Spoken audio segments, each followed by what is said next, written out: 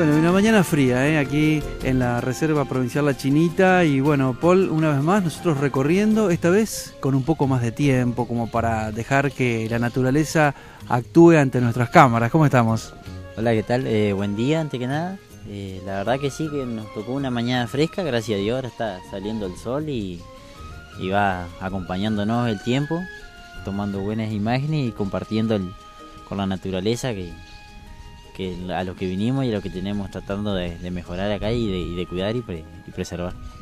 Un lugar justamente que se dedica a la preservación, al cuidado, que por suerte está avanzando, ¿no? Se están haciendo muchas obras, se han traído algunos animales nuevos, porque recordemos que este lugar eh, tiene la característica de que todo aquel que tenga algún animal en la casa, bueno, que sabemos que no es el ámbito ideal, lo puede acercar acá, que hay gente que conoce del tema, que va a saber cómo ubicarlos, cómo tratarlos y bueno, para que todo el mundo y los chicos sobre todo cuando se dan una vuelta por acá puedan conocer sobre todo los animales autóctonos, ¿no? Exactamente, o sea, nosotros acá tratamos de, de ser una reserva natural de uso múltiple y también contamos con como un centro de rehabilitación, digamos, trabajamos con veterinarios que si la gente tiene animales por ahí traen lastimados, nosotros tratamos de, de cuidar.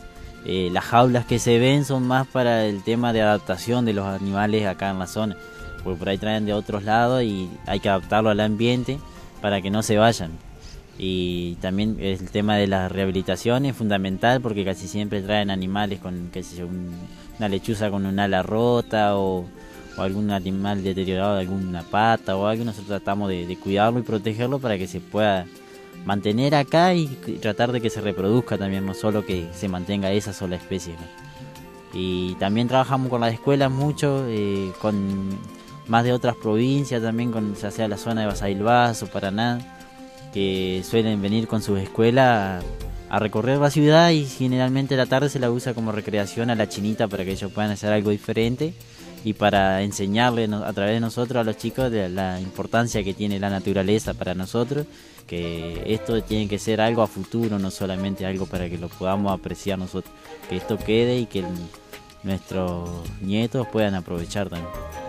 Realmente, ¿no? Hay lagunas muy grandes donde la naturaleza se abrió camino, eh, vemos incluso, eh, bueno, algunos animales que han tenido cría aquí, sabemos que se han adaptado perfectamente al lugar y, y bueno, y algunos nuevos, como decíamos, por ejemplo, los coatí, que son, algunos lo denominan el koala argentino también, que es muy conocido porque los que van o han ido a las cataratas, bueno, ellos están entre los pies de la gente tratando de robarnos algún sándwich, ¿no?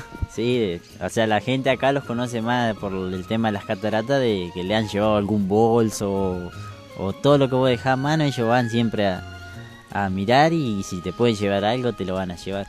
Curiosidad que tienen ellos, no es que, lo, que sean animales dañinos ni malos, es solamente curiosidad que tienen ellos al ver cosas nuevas que les llaman la atención. Pero es lo mismo que pasa acá con los ñandú también, ¿viste? ven algún paquete de galletita o algo que les llama la atención, ellos van y van a querer sacártelo. No es que son malos ni nada de eso, pueden tener el peligro de tener vos la galletita en la mano, ellos te quieran sacar la galletita y puedan picotearte algún dedo. Pero en sí acá en la reserva no hay prácticamente peligro con los animales. Los que estén, digamos, ya sea el yacaré, esos están aislados, digamos, nosotros se los puede ver de lejos, pero no se puede acercar. Y esa es la ventaja que tenemos en el tema de la seguridad, que la gente, peligro no corre acá en, en la reserva. Ha habido algunos movimientos internos también, ¿no? Los animales como que van buscando el lugar y la comodidad. Hoy comentábamos fuera de cámara que los carpinchos, hace unos años nosotros vinimos y la verdad se acercaban a la cámara, eran muy amistosos y bueno, ahora como la reserva se va extendiendo, ellos van buscando un lugar más tranquilo donde seguramente reproducirse y bueno, estar más en contacto con la naturaleza y alejarse un poquito del hombre que bueno, a veces eh, hemos dado malos ejemplos, por eso también ellos evitan un poco el contacto, ¿no? Exactamente, o sea, acá eh, es como antes, antes los, carpinchos andaban acá al lado entre nosotros, la gente era de comer, pero ya hace un tiempo que tuvieron cría y se, han ido alejando por el tema de preservar a las crías, y es que un animal cuando está con cría es muy arisco eh, y defiende mucho a la cría, entonces lo, lo va llevando medio alejado de la gente para que la gente no se le acerque y no con la intención que la gente a veces se acerca para hacerle daño, pero sino que ellos lo toman de otra manera, es su naturaleza, entonces los van lo van llevando más alejado de nosotros para preservar la seguridad de ellos.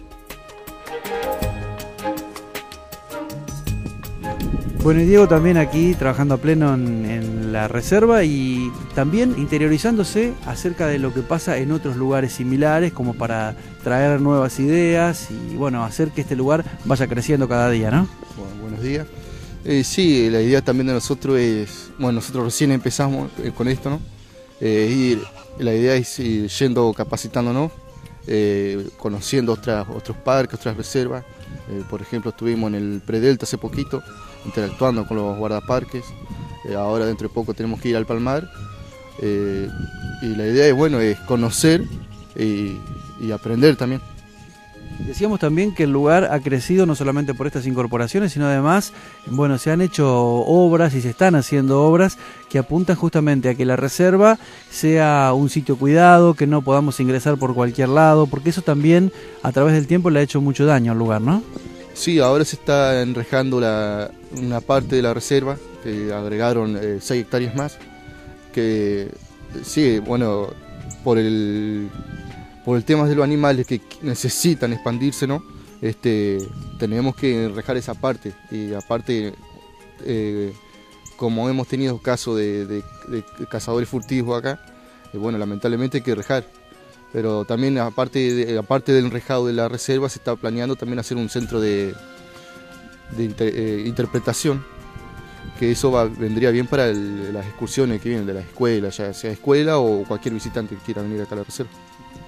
Además, bueno, eh, a veces cuando pensamos en poner una cerca, eh, nos imaginamos que el ser humano, pero bueno, recordemos que esto está muy cerca del casco urbano, aquí hay vecinos y bueno, también se puede introducir un perro, de hecho ha pasado en alguna oportunidad y bueno, por eso también eh, los animales corren peligro de alguna manera, ¿no? Porque el perro, bueno, transpone, digamos, el límite sin ningún tipo de impedimento. Ahora cuando estamos poniendo estos elementos, la cosa se pone mucho más controlada, ¿no?